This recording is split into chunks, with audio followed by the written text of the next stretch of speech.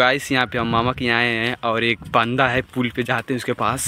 तो भाई ताको इधर क्या कर रहे हो रात को? इधर पे मादर चौथ एक लड़का बहुत छड़क रहा है उसको हाँ। कहाँ रहे? वही आ रहा है क्या वो लड़का? वही है क्या?